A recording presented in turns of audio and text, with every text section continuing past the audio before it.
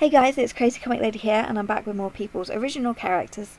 So if you'd like me to draw a picture of your OC, you can use the hashtag CCLDrawMyOC on Instagram, or you can leave a comment on this video with a link to your character on whatever file sharing site that you use. And it's still my intention to try and draw everyone's OCs, so don't worry if you if you've already left a comment and I haven't drawn your OC yet, because I'm sure like almost positive that I'll get around to drawing your character eventually. It just might take a while. Um, I haven't been doing these in any like particular order. I've kind of just been picking them at random depending on what I feel like on that particular day.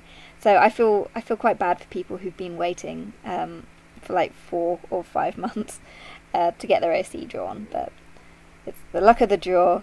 Um, but if you ever get tired and frustrated of waiting, you can always commission me to finish your OC because I always have my commissions open. But I just thought I'd put that out there as a suggestion in case you were getting annoyed that I hadn't got around to drawing your characters yet.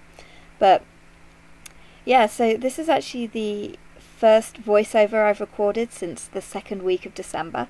And when I was doing my Doggy December challenge, I uh, I actually did that in October and the beginning of November because I knew as soon as I got my new puppy that I would not have time to draw or do anything. Um, what I didn't anticipate was the fact that I would get extremely ill and that everyone in my family would get extremely ill in December.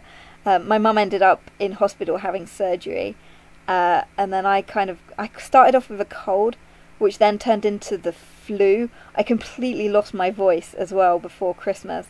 So it was a really good idea that I got all the voiceovers for that Doggy December challenge done.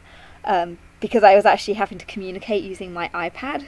I was having to like write stuff down um, because I just couldn't speak at all. Uh, and then the flu kind of turned into a chest infection, which uh, by Boxing Day I was then in hospital, uh, being completely unable to breathe, and they had to hook me up to like this breathing mask thingy. It was, my god, it was awful. We ended, we completely cancelled Christmas. We the turkey went in the freezer. Uh, none of us were kind of eating at all because we were just all so ill.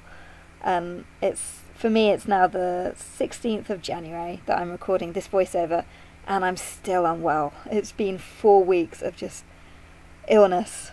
Um, I thought I'd pulled a muscle in my side, but I think it's actually a problem with my lung like something left over from the chest infection because I'm still coughing up really nasty, nasty nastiness. But yeah, so anyway, that was my my Christmas. I'm sure everyone's Christmas must have been better than than spending it in hospital. That was not fun.